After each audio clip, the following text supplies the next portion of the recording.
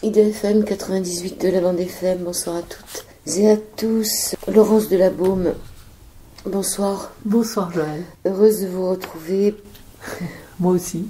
Pour, pour parler de Satprem. Est-ce que vous pourriez nous dire qui était Satprem Oh là là, euh, qui était Satprem Satprem était d'origine bretonne, française, bretonne. Euh, C'était quelqu'un qui, euh, qui avait été résistant pendant la guerre et qui avait été trahi, conduit par la Gestapo dans les camps de concentration à l'âge de 20 ans. Il a reçu la médaille de la résistance. Quand il est sorti des camps, il s'est posé la question qu'est-ce qui reste d'un homme quand tout est dévasté?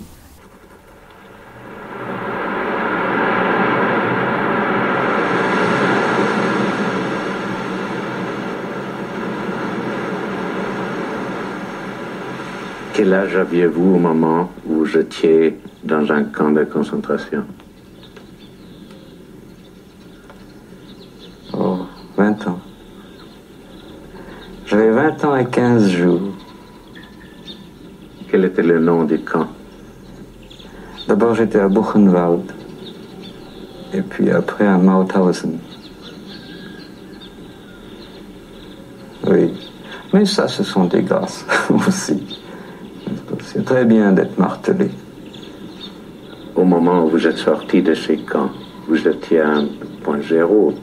Oh, j'étais un révolté total. Total. D'abord contre moi-même. Parce que je, je me trouvais dévasté. J'étais dévasté. J'étais dévasté il n'y avait plus aucune valeur de la vie que je connaissais qui, tenait debout. Qu'est-ce que voulaient dire les diplômes, les examens, les réussites et les, qu'est-ce que ça voulait dire? Ça, Plus rien ne voulait dire quelque chose. C'était un énorme artifice qui s'écroulait. Il fallait, il fallait que je trouve quelque chose qui soit solide. Il n'avait plus de, de point de repère et il est parti faire une grande aventure à travers le monde, je dirais une aventure terrestre au départ, en essayant de trouver les points de la Terre les plus, les plus sensibles et plus forts. Il est parti euh, dans la forêt équatoriale, en Égypte bien sûr, dans les principaux, dans des endroits très, très importants. Et il a fait un cheminement d'abord donc d'aventurier terrestre avant d'arriver en Inde, où il a rencontré Mère et Sri Aurobindo, et Sri Aurobindo lui a apporté une réponse, une, une, réponse qui a bouleversé sa vie. Il disait L'homme est un être de transition. L'homme tel que nous sommes aujourd'hui n'est pas, dans, n'est pas fini, c'est un être en évolution. En transition. En transition. Et ça a bouleversé complètement sa vie. Il s'est dit donc s'il y a peut-être une chance pour que existe une autre clé, une autre évolution possible. Et à partir de là, il a tenté, euh, il est resté d'ailleurs à côté de mère, enfin il est reparti, revenu, c'est la vie de Satprem, c'est une, une, vie euh, à plusieurs étapes. Et il a été surtout le confident de mère pendant 20 ans, pendant que la mère faisait ce travail extraordinaire cellulaire. Donc il faut peut-être expliquer qui est la mère. Ah, il faut expliquer qui est la mère. Mère, mère, mère Mira, on l'appelle aussi. Mira, Mira Al-Fassa, oui, c'était une égyptienne, de, pardon, moitié égyptienne, moitié turque, et, et née à Paris. Euh, qui parlait français, donc. Qui était française, oui, oui française d'abord et avant tout. Et qui euh, avait été mariée, avait eu donc une vie normale, mais avait déjà des, je dirais, des capacités euh, extra exceptionnelles, extrasensorielles. elle connaissait déjà certains aspects humains. Donc elle, elle, se marie avec un, on peut dire, plus ou moins un diplomate qui l'emmène en, en, Inde. Elle fait un enfant là-bas. Qu'est-ce qu'il est devenu cet enfant? Vous n'avez aucune idée? Cet enfant, c'est un fils. Écoutez, moi, je, non, j'ai pas à ce niveau-là, je n'ai pas très bien regardé ce qui, ce qui, était devenu le fils de mère. Euh, je sais qu'il a eu une fille qui s'appelait Purna. En fait, quand je rencontre Satprem, c'est six mois après avoir eu euh, la, la, première, l'unique expérience de ma vie de euh, sortie du corps, enfin de, de perception extrasensorielle. C'est-à-dire que Mm. grâce à un aborigène, je m'aperçois qu'en fait, il y a une autre conscience derrière notre conscience d'éveil, et que cette autre conscience, elle, elle, elle interagit, elle est en connexion, elle est, elle est le tout, elle est en connexion avec tout. Quand on me donne le livre de Satprem, qui ça m'a été donné par un ami, c'est l'écriture de Satprem qui me frappe. C'est comme si j'avais l'impression que c'était une conscience vivante qui écrivait. Je me sens non seulement, je me sens happé par l'écriture, j'aurais l'impression, j'ai l'impression que c'est une écriture qui, qui est dans le cœur de chacun. Euh, C'est une écriture très particulière. Il n'y a pas de syntaxe particulièrement euh, euh, littéraire. C'est- C'est une écriture qui, est presque pulsionnelle, qui vient, de, très très très loin, qui traverse les siècles. Il emploie des, métaphores extraordinaires. Il a une rapidité de, compréhension, d'expression qui est unique. Je suis complètement happé par cette écriture. Et en plus, les lettres s'adressent au meilleur ami de ma mère à l'époque, c'est-à-dire à un ami à lui qui s'appelle Bernard. Donc je vois dans cette, euh, dans cette euh, rencontre deux éléments très importants.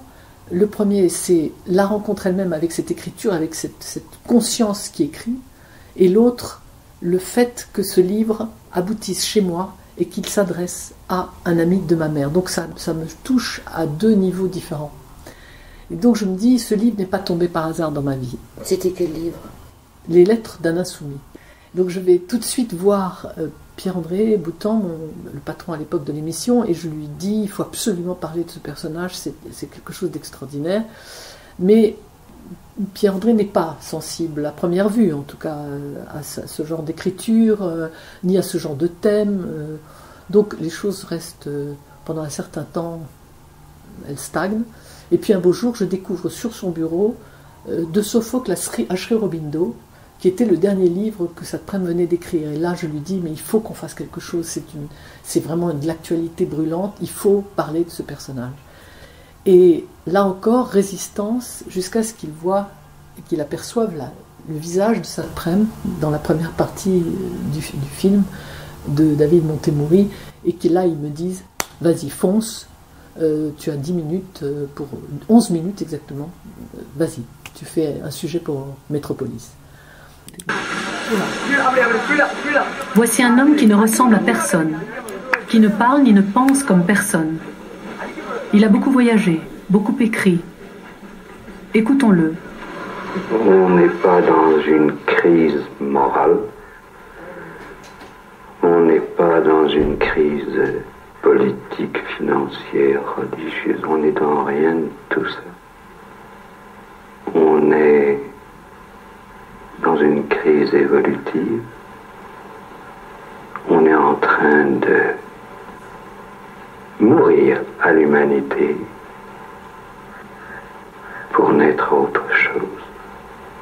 Alors tout est cassé, partout. Tout est horrible, partout. Même dans les splendides cités américaines, si confortables. C'est la même barbarie, partout. Et il faut qu'on arrive au moment où la conscience vire dans une autre dimension. N'est-ce pas? C'est ça l'histoire. C'est une crise évolutive. On est, au, on est au même point où, à un certain moment de l'évolution, il a fallu passer d'une respiration branchiale à une respiration pulmonaire, ou bien on asphyxiait. C'est ça qui se passe. Et c'est là euh, que euh, je, me suis euh, engouffré dans cette extraordinaire brèche qui me parlait, encore une fois, particulièrement parce que j'avais déjà eu cette histoire précédente. Je, je me suis rendu compte que la plupart des gens ne comprenaient pas de quoi on parlait vraiment. On parlait de conscience cellulaire, on parlait de travail dans les cellules, vous voyez, c'était complètement... Ça, c'était dans les années 80 C'était, on est en 96. 96. Mhm. Mais quand il a commencé à, à faire son travail avec mère, c'était c'était en amont. Mais c'était bien avant, parce que Mère a commencé tout ça, euh, tout a commencé en fait au début du XXe siècle par Sri Aurobindo, Ouais. par cette histoire de, Il est mort en 50, Sri Aurobindo. oui, par cette histoire de, de, de- de transition de l'homme. Le- Sri Aurobindo nous dit, ou, propose en tout cas, postule, je dirais, que nous sommes dans, un, dans une crise évolutive, que nous allons vers un autre, un homme Un différent, nouveau, une autre manière d'être dans le corps, et c'est Mère qui va endosser, euh, je dirais, la manifestation de cette théorie de, de. C'est elle qui va manifester dans son corps, à travers tout son travail de conscience, de cellulaire, hum, tout ce travail euh, mais astronomique qui va durer toute sa vie, qui va durer euh, et qu'elle va faire avec euh, Satprem pendant plus de 20 ans. C'est elle qui va, qui va entrer à l'intérieur d'elle-même, entrer dans ses cellules par la méditation, par une méditation très particulière qu'elle appelle, que Srobindo appelle le yoga des cellules, et donc qui est beaucoup plus qu'une méditation. Vous voyez, c'est beaucoup plus que tout ça. Mais ce sont des instruments nouveaux parce qu'à l'époque personne ne sait ça. Tout le monde prend ça pour une, pour une totale folie. Alors, elle travaille sur le corps, l'importance du corps, mais Oui. il crée aussi euh, Auroville. Oui, mais ça c'est après. Ce qui, ce qui m'importe moi dans l'histoire, c'est quand Mais ça, ça- mais, enfin, parce que Auroville, ça prouve quand même, il y avait l'UNESCO, je- il y avait l'UNESCO derrière. Ça prouve quand même qu'ils ont eu une, une reconnaissance un peu mondiale c'est ça. C'est-à-dire que mais c'est en 68 ça. Moi je vous parle d'avant. des années 50. Oui, euh, dans les années 50 et tout ça, tout, tout ce travail ce, ce- sous-jacent se passe. Et euh, Sri Aurobindo a des disciples. Déjà, il y a déjà l'ashram qui a été créé à Pondichéry. Et Auroville, c'est après. C'est en 68. C'est l'idée de, de, euh, rassembler un certain nombre de, de mon- de gens du monde entier Et qui ont envie, d'une ville nouvelle. rassembler Oui. des, des gens du monde entier qui ont envie de faire ce travail sur eux-mêmes ensemble et les rassembler dans un lieu qui s'appelle Euroville pour regarder comment ils, euh, ensemble, ils arrivent à, à- se faire eux-mêmes, euh, j'allais dire le mot croître, je veux dire euh, comment est-ce qu'ils arrivent à élever leur propre conscience. Donc au début, c'est un travail corporel presque, c'est pas spirituel, c'est corporel. On est comme un laboratoire. C'est- Saprem explique que le, corps est un laboratoire et qu'il faut se mettre en situation de, de- de- de chercher dans son corps l'inconnu. Euh, et donc au début, ça correspond probablement à un état d'esprit euh, qui, qui De était de l'époque. Voilà. Donc les gens arrivent de partout. Certains avec l'idée véritable de changer quelque chose en eux, d'autres probablement avec d'autres motivations. Donc euh, c'est pour ça qu'après, euh, Il ne reste pas. si, il, re- il peut- il y en a qui restent, il y en a qui quittent, enfin, mais il passe de, de 15 familles à 2500 aujourd'hui. Je veux dire, c'est un phénomène extraordinaire quand même, qui, Euroville.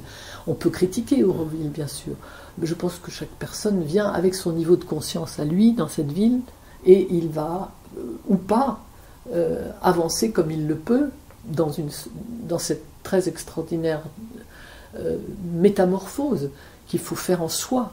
Et là, le, comme mère n'est plus là, puisque mère est morte en partie, pardon, on dit partie, sortie du corps en fait, sortie de son corps.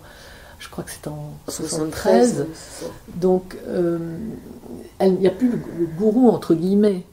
Personne n'est plus là. Donc c'est pour ça qu'Auroville après euh, va, va, va- Mais ils ne sont pas restés à Auroville, ils sont repartis à Pondichéry, non? Qui?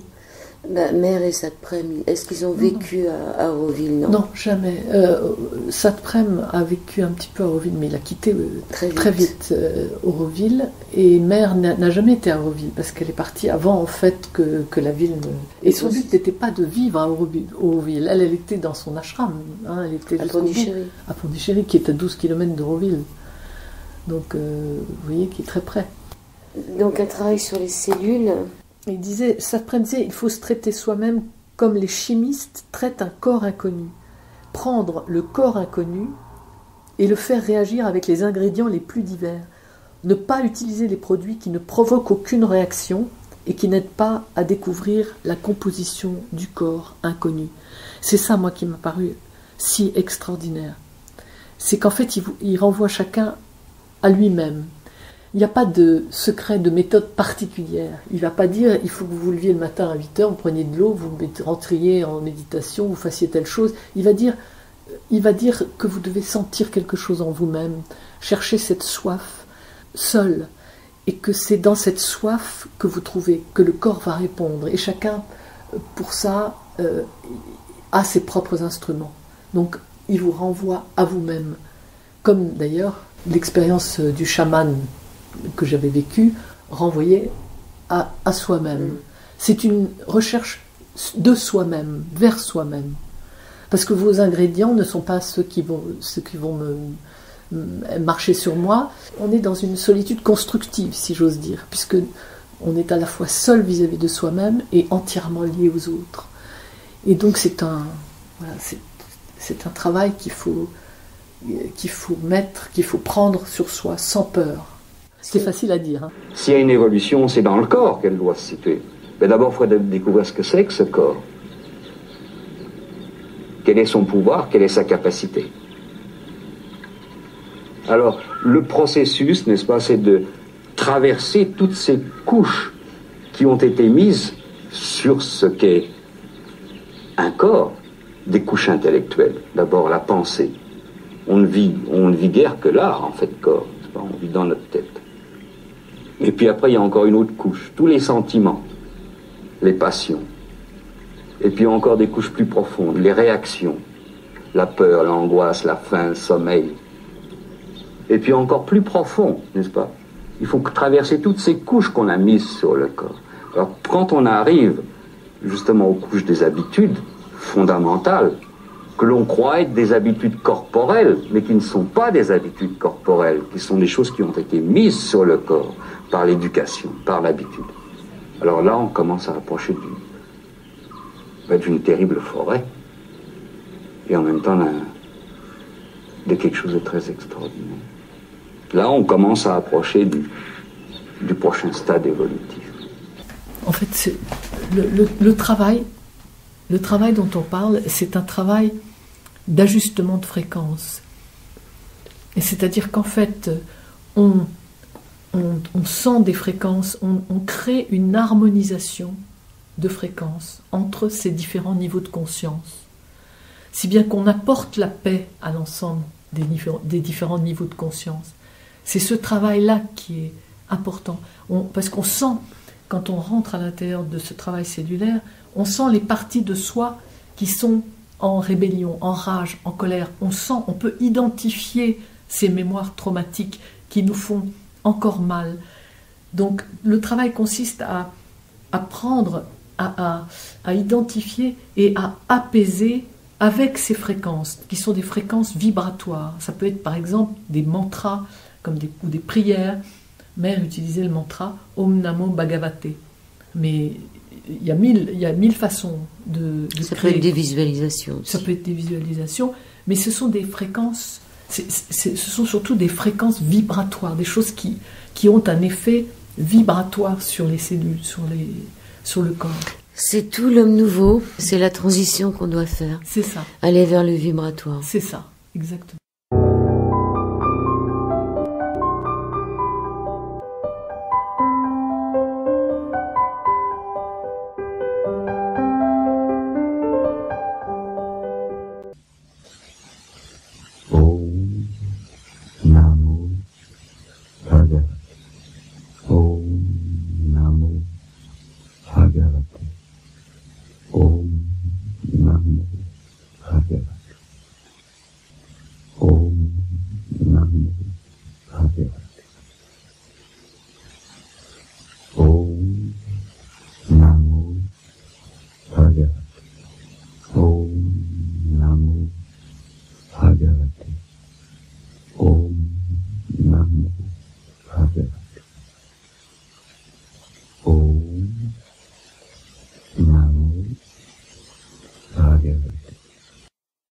Saprem signifie en sanskrit le nom de l'amour. Oui, ce qui est étonnant, c'est qu'à la fin de, la vie de mère, dans les derniers mois, euh, on lui a interdit d'aller la voir. Comment ça se fait, ça? Qui s'est permis? D'abord, écoutez, ce n'est pas moi qui vais vous donner les réponses aux questions que Satprem se posait lui-même parce que ça a été le plus gros, la plus grosse épreuve pour lui, je pense, c'est que justement on lui interdise la porte, la chambre de mère après 21 ans de entre guillemets bons et loyaux services avec elle, près d'elle. Donc c'est sa question à lui.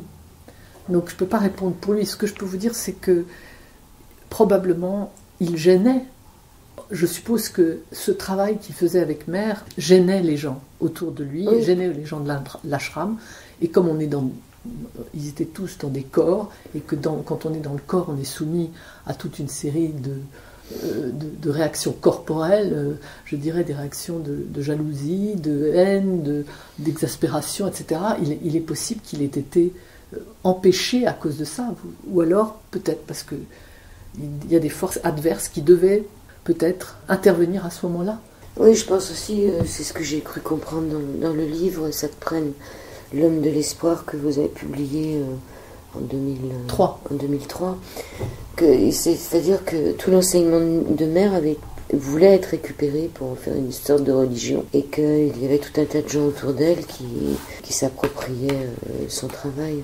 Exactement, exactement. Il dit quand même que le dernier de mot de mère, c'était quelle heure est-il? Oui, c'est possible. Il était là, donc non, non, il n'était pas, là. C'est-à-dire qu'après, il a, il a su ce qui s'était produit, par, comme, comme tous les gens de l'ashram qui ont, à qui on a dit ce qui s'était produit, mais c'était l'entourage très très très proche, très proche qui, qui, pouvait dire ce qu'il voulait dire, ce qu'il voulait. Hein. Je veux dire, on lui a dit ça. Mais lui, en fait, avait été averti par mère avant, parce que mère avait senti des années avant, elle l'avait prévenu, Sacha Prem, elle lui avait dit, quand un jour il est possible que je sois dans un état qui ressemblera à celui de la mort. Et à ce moment-là, il ne faudra pas me mettre euh, en terre. Euh, il faudra juste attendre. Et, et ça, c'est pour, pour prême qui se remémorait ce qu'elle ce qu'elle lui avait dit à ce moment-là. C'était insupportable.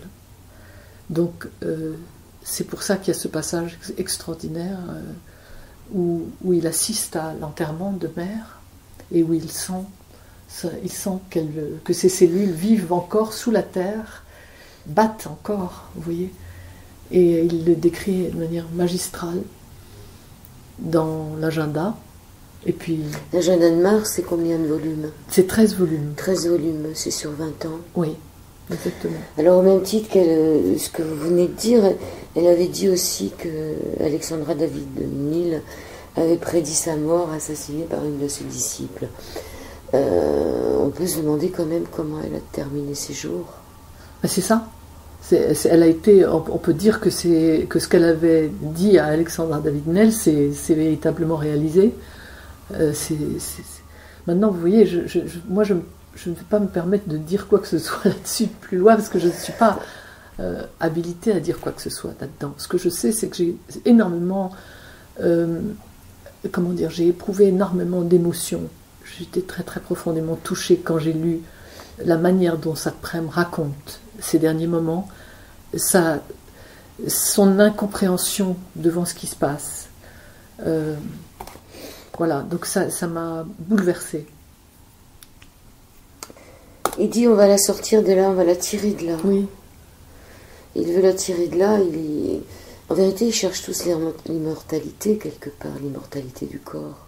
Oui, c'est ce que Shrobino et Mère, euh, en fait, euh, postulait, enfin il pensait que cette, euh, cette cellule, euh, elle avait engrammé un nombre de toutes les, des mémoires répétitives et traumatiques depuis des millénaires et qu'il fallait changer ce, qu'on pouvait changer cette mémoire en travaillant sur les différentes couches de, conscience que l'on a sur la, en travaillant. C'est pour ça que Sri Aurobindo avait créé le, cette ce fameux yoga des cellules.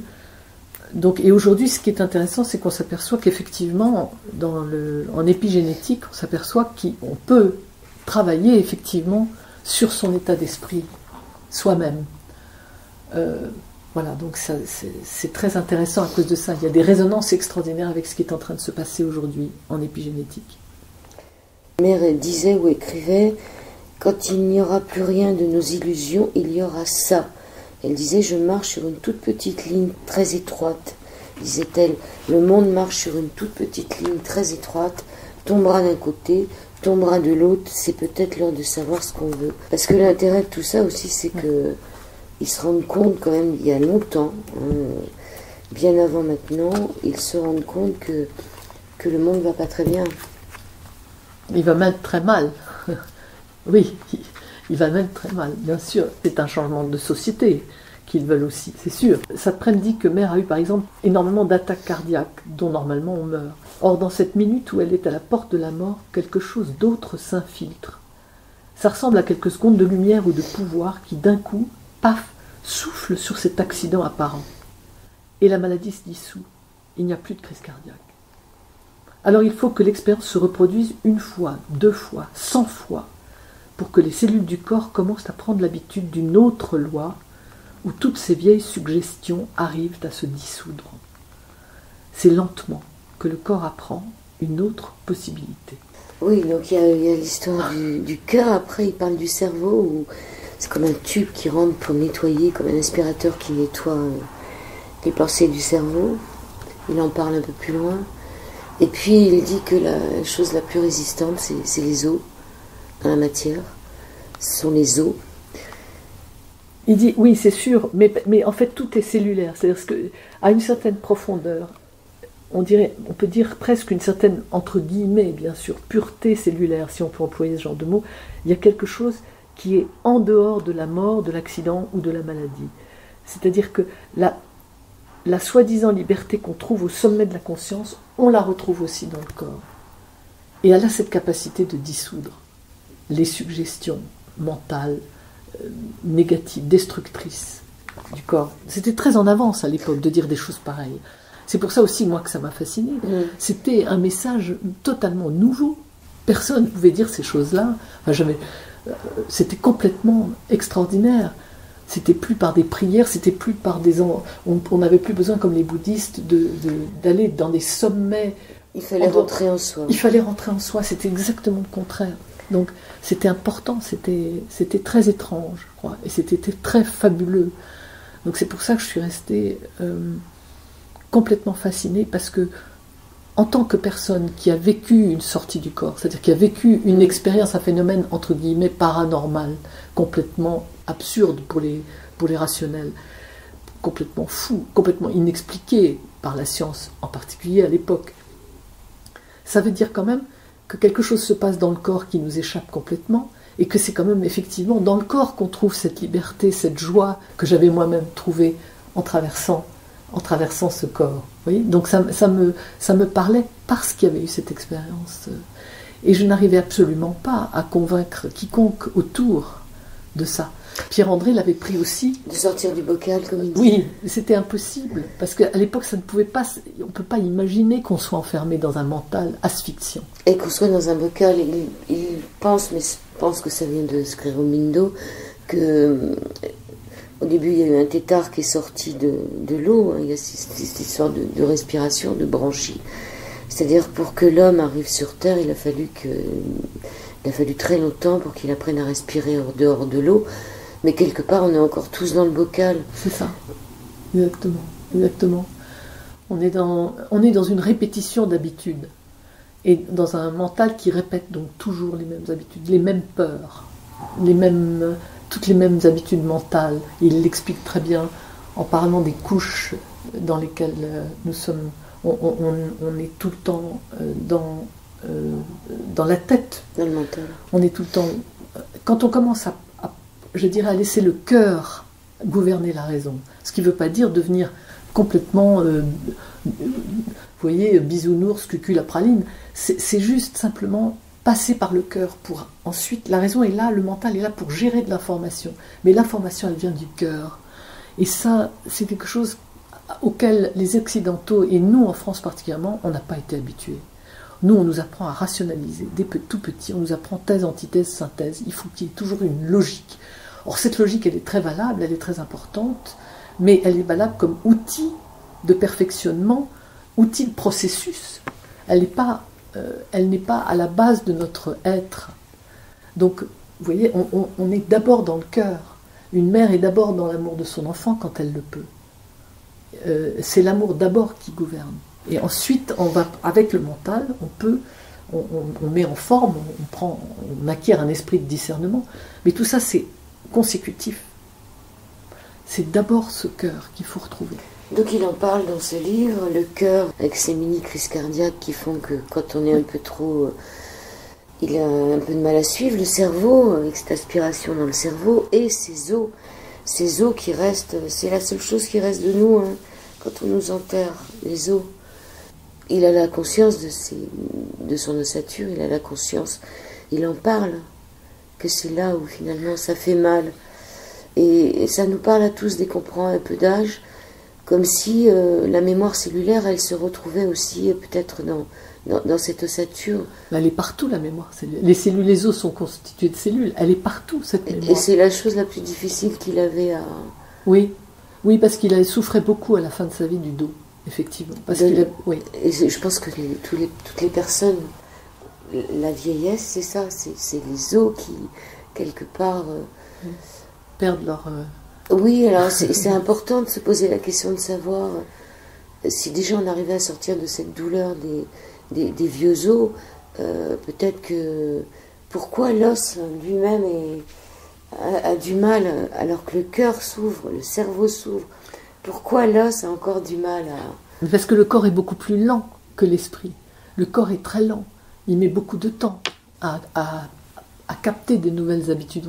on a beau savoir ces choses on, a beau essayer de se les faire vivre, on reste quand même tous, pour l'instant encore, prisonniers de ce corps, dans la mesure où il, faut, beaucoup, beaucoup, beaucoup d'habitudes. Hein, il faut changer la programmation de ces cellules.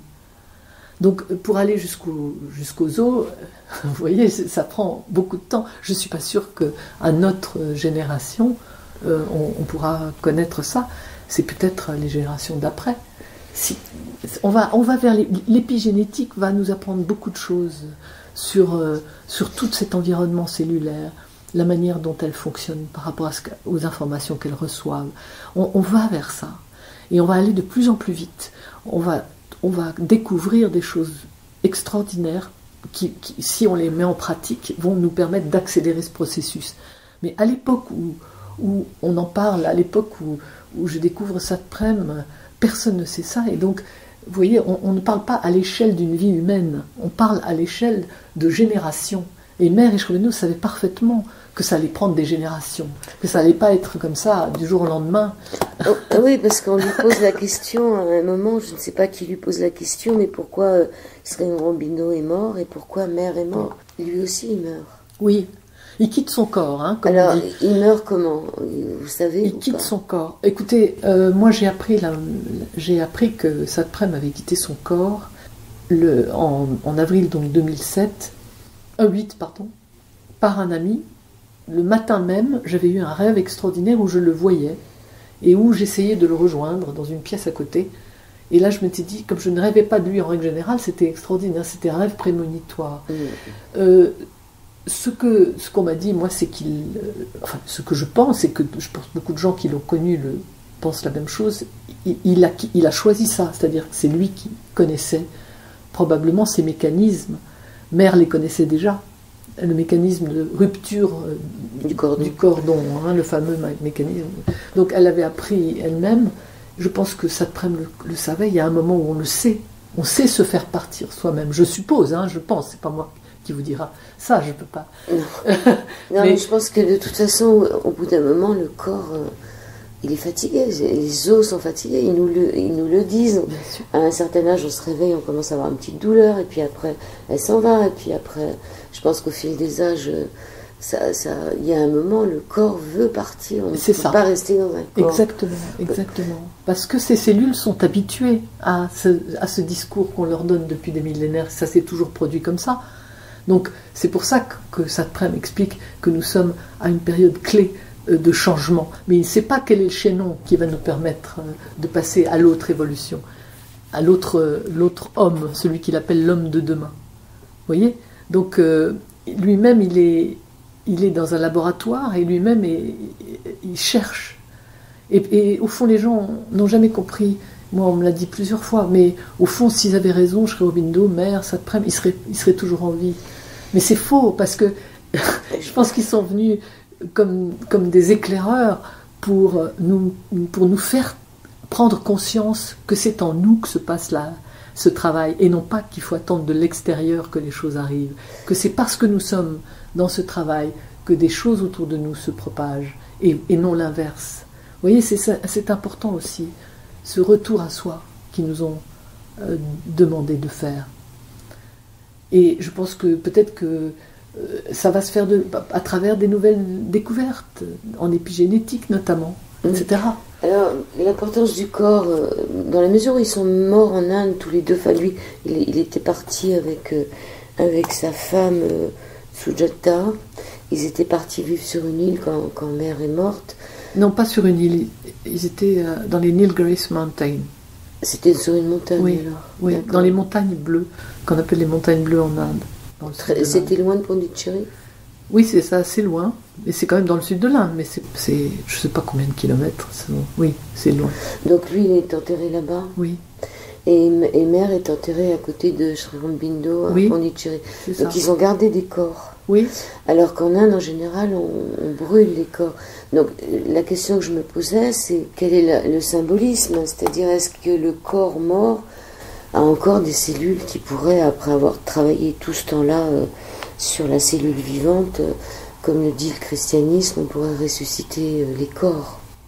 Est-ce que la question est, simple ou pas? Vous me posez la question de la résurrection, c'est très facile. vous riez. Non, mais est-ce que... je ris là. Mais c'est impossible de répondre à ces questions-là. Non, mais est-ce qu'ils ont gardé le corps euh, parce que même Aurobindo, c'était un Indien, non? C'était un hindou. Oui. Pourquoi il a, il a, gardé son corps alors que là-bas, en général, on, on, fait une crémation? Mais d'abord, je ne sais pas si on fait les crémations euh, systématiquement. Hein. Il faudrait regarder bien, parce que mm. là, il y a des questions de caste, etc. Non, euh, Sri Aurobindo, d'abord, il n'a pas. Il, est resté pendant quelques jours. son corps est resté sans euh, phénomène de, de, putréfaction. Donc ça, c'est quand même quelque chose qui a beaucoup frappé son entourage et mère qui était là. Pendant plusieurs jours, il est resté intact. Tout ça a une signification. Si vous vous dites qu'un corps reste intact, c'est quand même, il s'est quand même passé quelque chose au niveau des cellules. Donc, peut aussi, ça peut, on peut aussi prendre ça comme un message. Le corps de Sri est resté intact pendant plusieurs jours après sa mort. Est-ce que ça, c'est pas un signe que c'est au niveau des cellules que ça se passe? Deuxième chose, Mère donc a gardé ce corps le, autant qu'elle pouvait, et ensuite elle l'a fait euh, mettre dans, un cercueil en bois, et dans le fameux samadhi, qui est au cœur de l'ashram de Sri. Et puis après, elle a continué le travail, et c'était logique que je dirais que qu'on respecte son corps qui avait tellement travaillé, c'était quand même un minimum que les, que les, que les disciples comprennent qu'on ne pouvait pas toucher un corps dont les cellules avaient été aussi travaillées durant leur, leur existence. Je veux dire, ce n'est pas les cellules de tout le monde. Le yoga des cellules. Oui, yoga mais donc c'était logique qu'ils gardent le corps de mère, qu'ils gardent le corps de, de, de, de Sri Aurobindo, comme c'était logique que Satprem garde son corps et que Sujata, qui l'a rejoint une semaine après, garde son corps sous la ah, terre. elle l'a suivi aussi vite Une semaine après. Elle était plus jeune que lui, pourtant. Oui, absolument. Donc vous voyez, il y a quand même des mystères extraordinaires qui accompagnent la, la fin de vie de ces gens-là. Et je pense que ces mystères-là euh, nous permettent de penser qu'il s'est passé des choses qui ne sont pas banales, qui ne sont pas habituelles, et qui valent quand même qu'on se penche sur cette question. Parce que cette question cellulaire, c'est quand même la question de demain, pour nous tous l'épigénétique la traite aujourd'hui. Et euh, vous voyez, il y a des nouveaux livres qui paraissent oui, la, dire... la cellule mère, par exemple. Une cellule... Mais, mais c'est pas la cellule de mère là, de, de mais c'est quelqu'un qui a écrit sur la cellule mère. Retourner à cette première cellule primordiale où finalement tout est... Et, qui a l'immortalité quelque part. Voilà, c'était le, c'était le, le, but ultime. Mais ça, on va parler, ça, ça va prendre des générations. Hein, on ne va pas trouver ça tout de suite. Je ne pense pas. Enfin, je ne sais pas. En tout cas, moi, je pense que je ne connaîtrai pas. je ne sais pas. C'est sur plusieurs générations. Vous vous rendez compte le, nombre, le temps qu'il a fallu pour qu'on arrive au niveau de l'homme? Et encore, est-ce que c'est vraiment un homme? On peut se poser cette question. Il se pose la question aussi. Il est beaucoup question de la mort dans le livre. Il voit des morts, il voit des morts lorsqu'il fait son travail, il voit des morts partout. Et il dit même, euh, ça c'est un côté, il est quand même un peu comique, hein. il dit que quand il rêve de quelqu'un dans son rêve et qu'il le voit, il pense que c'est quelqu'un qui est mort tellement il voit des morts partout. Donc la mort l'accompagne. Oui, mais d'abord, quand euh, ça te prenne, c'est quand même, il faut se rappeler que ça, son expérience euh, Dans les camps. la, plus, la plus importante, c'est une expérience mortifère.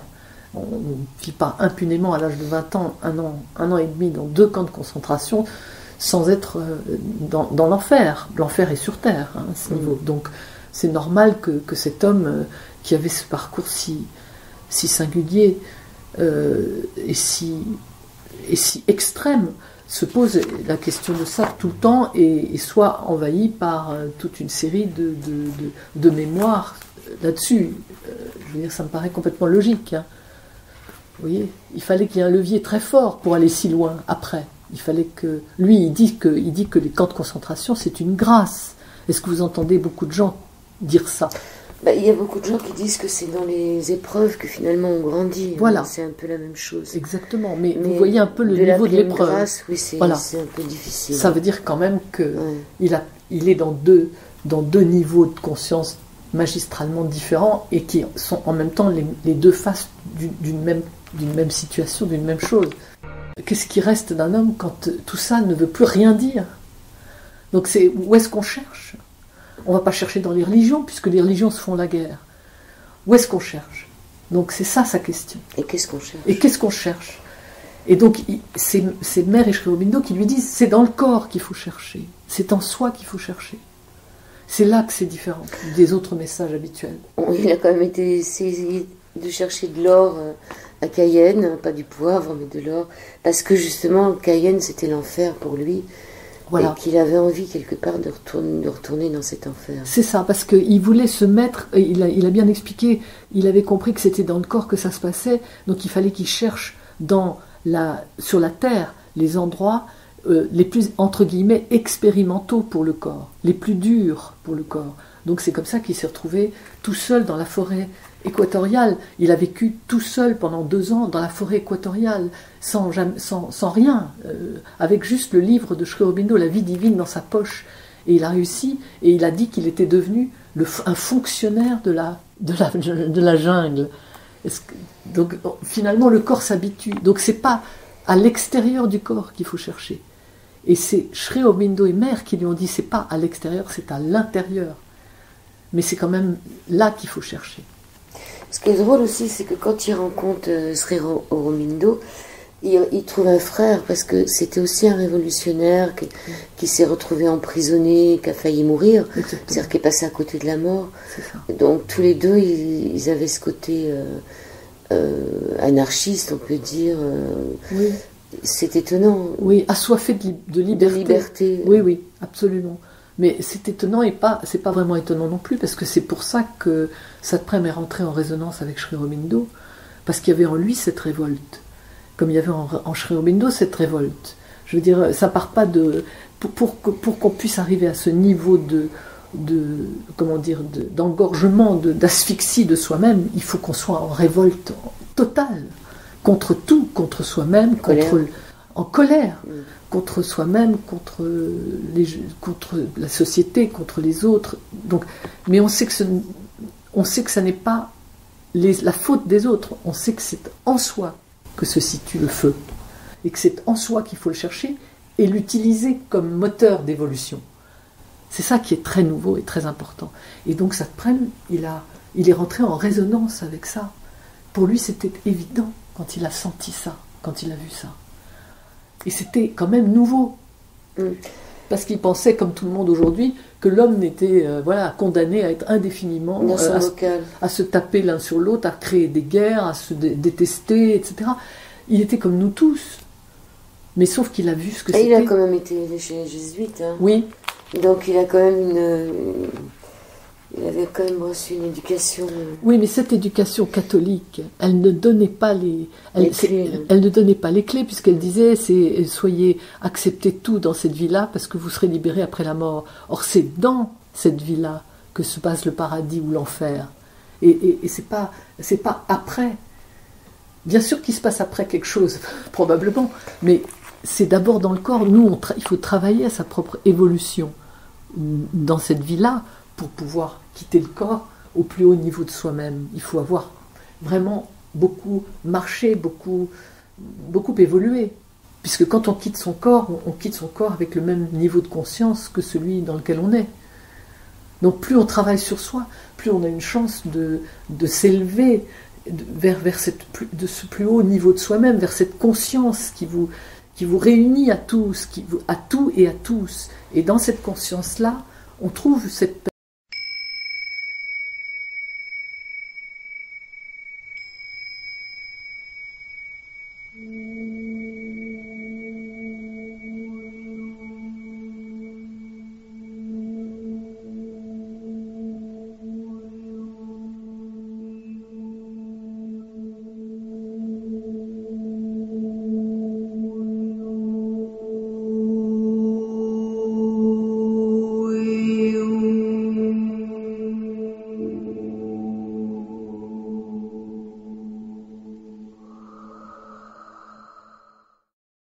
Donc il voit beaucoup de morts et à un moment il se demande de quel côté sont les morts.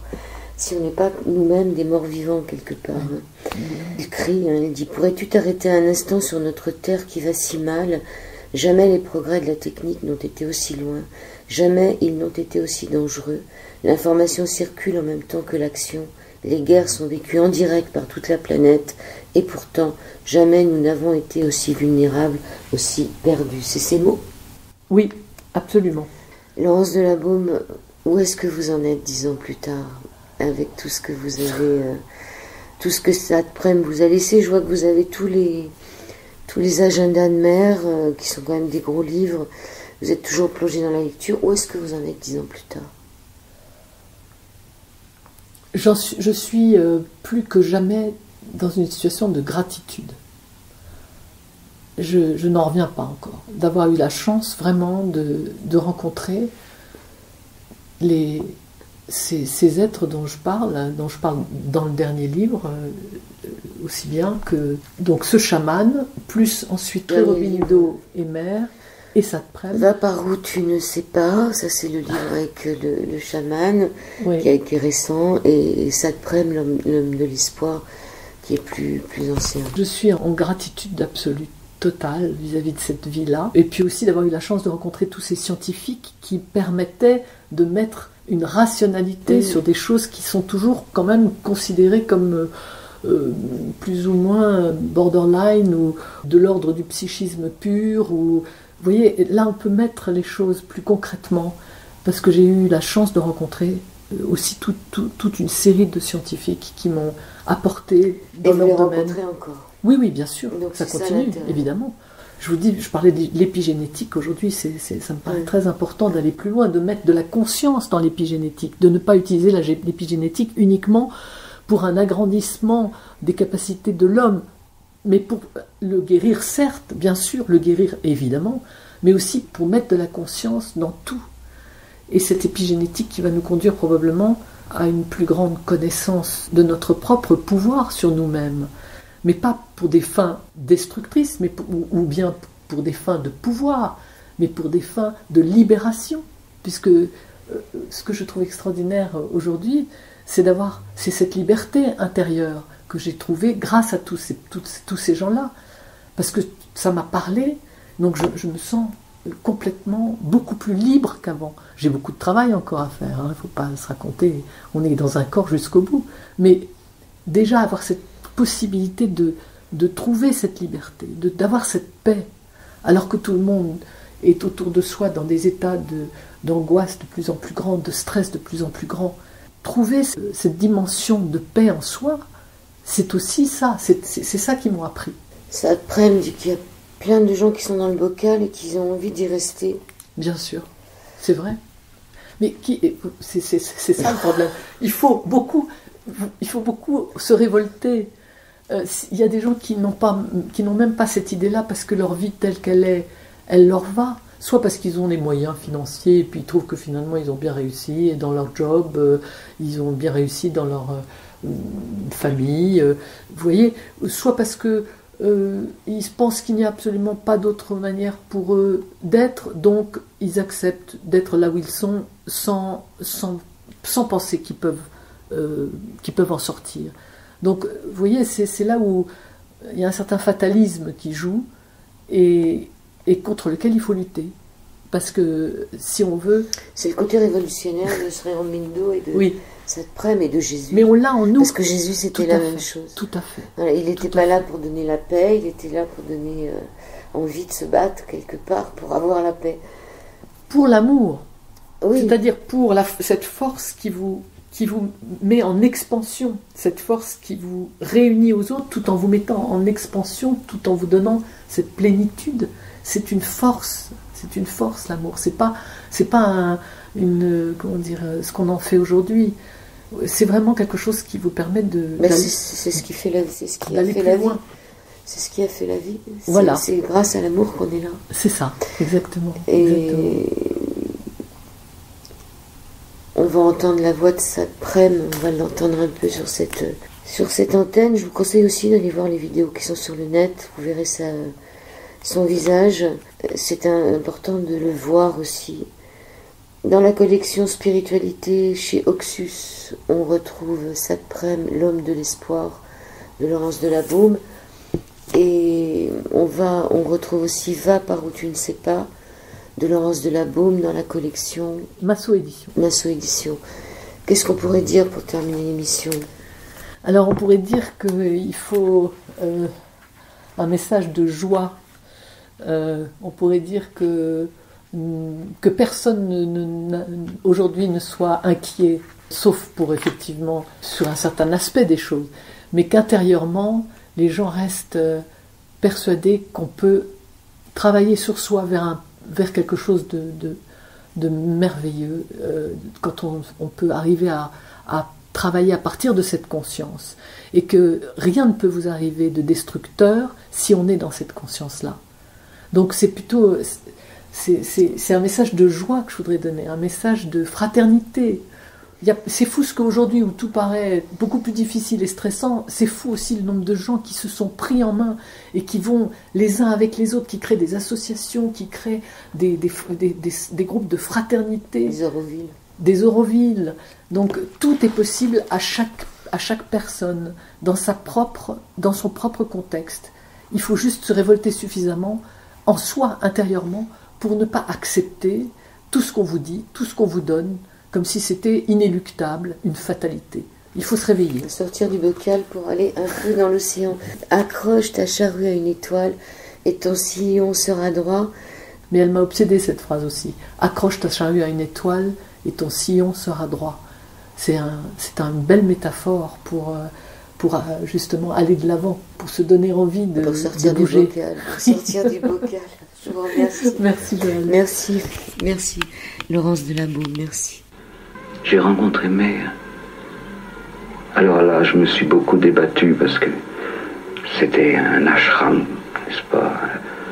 Les murs, j'aime pas beaucoup ça. Mais elle a été patiente avec moi. Si patiente.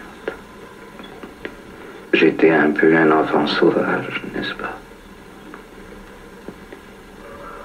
Et j'étais tout le temps euh, tenté de repartir dans ma forêt vierge ou dans le désert.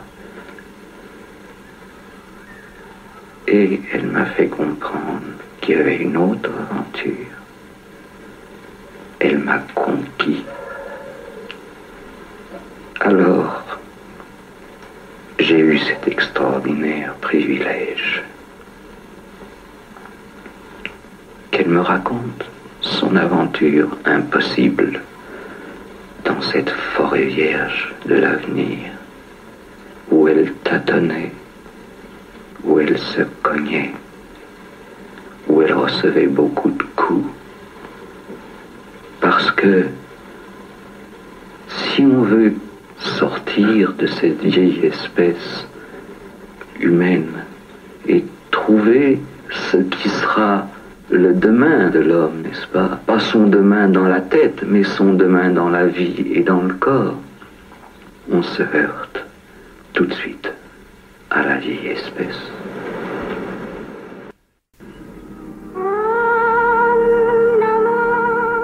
Si vous voulez mieux connaître Satprem, vous pouvez lire entre autres Les Lettres d'un insoumis, Sept jours en Inde avec Satprem et son œuvre majeure, Le mental des cellules.